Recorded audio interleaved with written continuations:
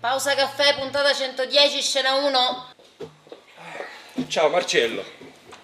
Oh, Stefano. Ma senti una cosa, cosa ne pensi tu del, del mago? Allora, guarda. Capisco che è il tuo primo o secondo giorno di lavoro qui al posto della signorina Ofelia, però secondo me prima di fare assunzioni strambe, a dir poco strambe, dovresti forse chiedere il parere del direttore, Ma sai? io per questo sono venuto da te, anche perché eh, non conosco come lavora il direttore e non conosco neanche il budget della televisione, quindi eh, lui può, eh, può fare delle richieste e non...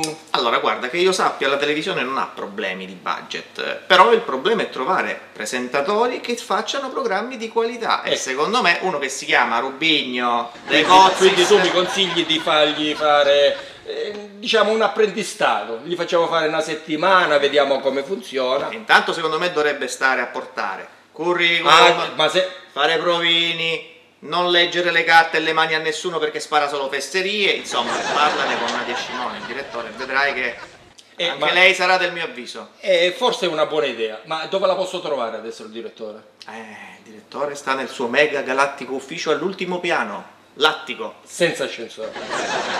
Senza ascensore. Pausa caffè, puntata 111, scena 1. Com'è finita con eh, il mago?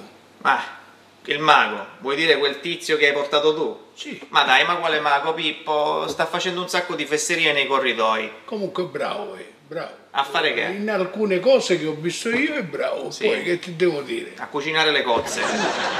Comunque, sostanzialmente è successo questo: lui è venuto qua, si è presentato, ha conosciuto anche a Stefano Scibilia, lo sai, il nuovo responsabile sì, del sì, personale. Alla fine Stefano è andato sopra a parlare con eh, il direttore e adesso, insomma, spero che non lo assumino, ecco, te lo dico chiaramente. Eh, il direttore ancora non ti ha detto niente? Eh no, non l'ho visto oggi.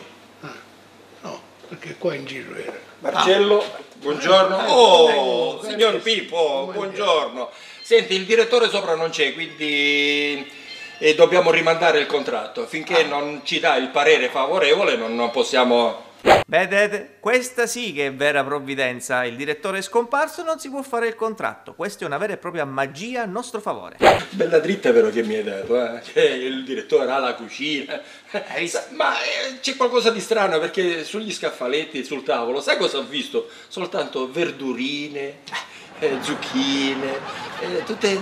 Eh beh sì. Ecco, ora capisco perché il direttore...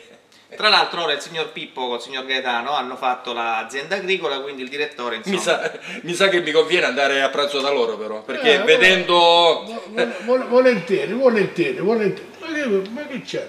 Guardi, guardi, non me ne parli, non me ne parli. Ero, ero a sistemare i- i documenti nel nuovo ufficio che mi sono trasferito da, da un paio di giorni. Sì. Ecco, eh, togliendo i documenti dal- dallo scaffale va a parte un plico e mi va a sbattere precisamente in testa.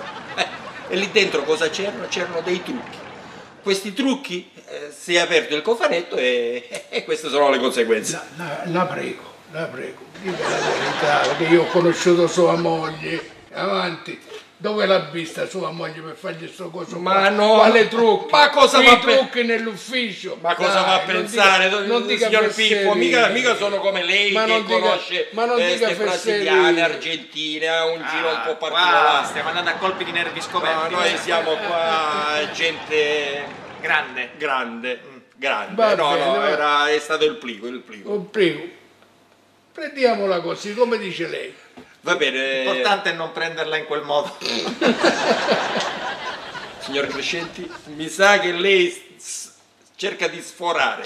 No, no, no, no, Ecco. no, io non sforo mai né il budget e né il tempo dei miei programmi. Quindi, Per il budget vado ad aspettare il direttore. eh, Vediamo sempre. un pochettino, È quello sì.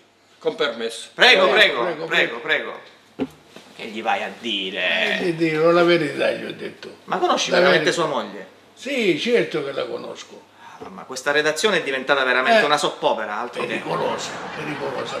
Siccome sa che lui, eh, ragazzinetti, cose, capisci?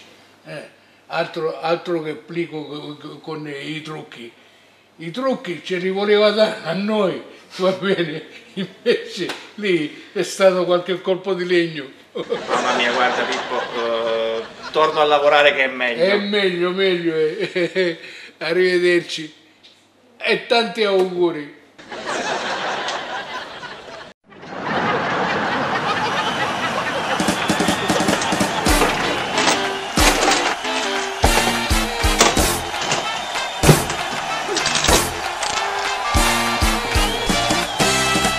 Come disse Abramo lì, Tre secondi di serietà.